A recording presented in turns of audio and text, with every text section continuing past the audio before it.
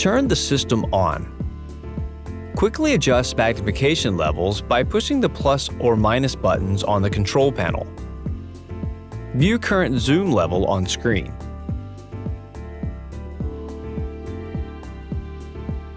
Hold the center button down for 3 seconds to use automatic exposure and focus. Locate the magnified area using the laser pointer.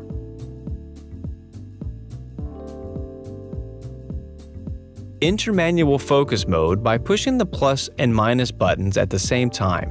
Adjust focus by using the plus button if you wish to focus on something close, and the minus button if you wish to focus on something farther away.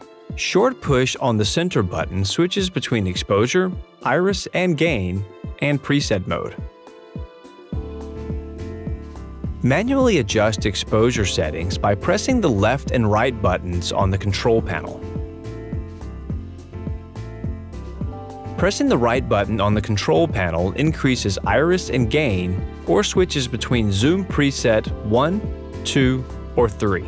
Pressing the left button on the control panel decreases iris or gain or switches between zoom preset 1, 2, or 3. To change and save a zoom preset, use zoom buttons to select the zoom level and simultaneously press left or right buttons. The on-screen display will show which preset number you have saved.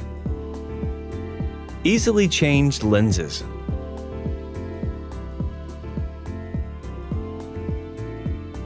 To open the Tagarno on-screen display menu, press and hold down the center button for 5 seconds.